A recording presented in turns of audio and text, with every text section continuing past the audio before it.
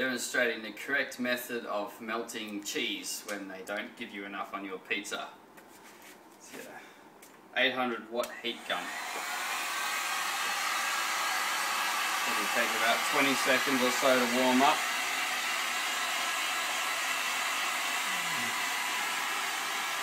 Feels about right.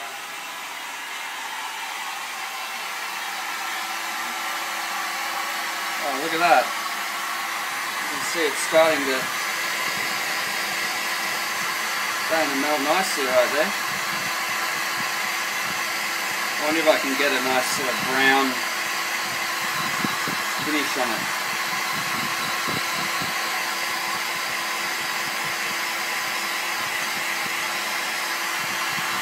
Uh, the problem is it's actually sending some of the uh, components of this pizza flying.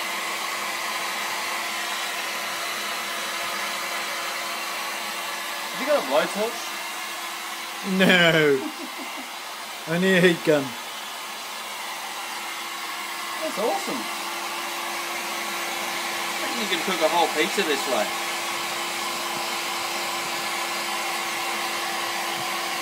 I gotta say, it smells bloody fantastic.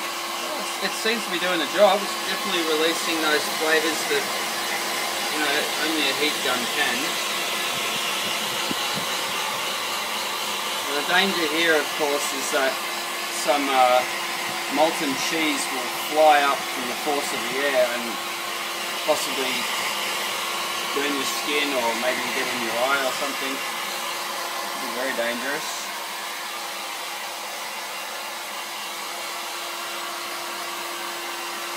That's magnificent. I just want to get it that little bit of brown, slightly burnt, I like cheese. I don't think this is the sort of cheese that does that. Pretty sure every every cheese will burn if you give it enough. I think this cheese think- goes to, I think there's too much oil in it. yeah. It's just sapping the heat out. Magnificent. That is a much better pizza. Augmented it with additional cheese that it was definitely missing from the kitchen. That's what 18 bucks buys you. Hey, well, that's right. 18 bucks, and they stooge me on the cheese.